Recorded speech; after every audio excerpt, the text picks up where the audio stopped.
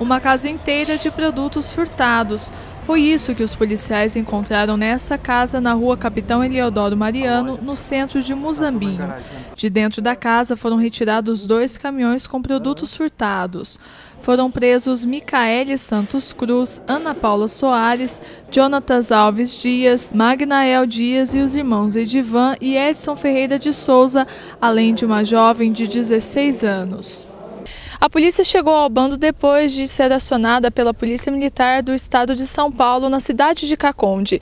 Lá, os policiais prenderam o oitavo integrante do bando, que informou que outros produtos de furto estavam na cidade de Muzambinho. Houve um furto de gado aqui em Muzambinho e esse gado foi levado para Caconde. E através da inicial que contava no animal, aí chegaram à, autoria do, do, do, proprietário, na realidade, do, do animal, né, que era daqui de Muzambinho e na ação que tentou prender esses, esses marginais, quatro acabaram fugindo e um deles foi capturado lá.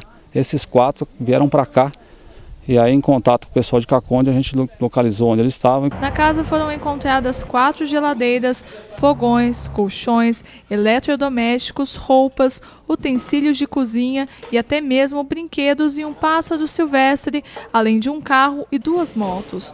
Tudo furtado de uma residência no bairro Lages, na zona rural de Muzambinho. A vítima, que não quis se identificar, contou à reportagem que percebeu o furto depois do dia 30 de junho.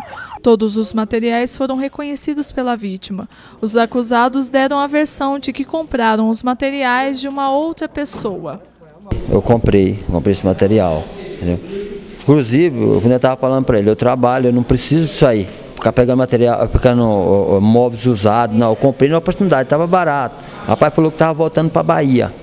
Eu comprei na, na oportunidade, achei barato, como eu moro pouco tempo aqui, vi que era barato, fui e comprei. Quanto que você pagou para essa pessoa? R$ 1.200. Mas, para a polícia, os detidos estão diretamente envolvidos nos crimes.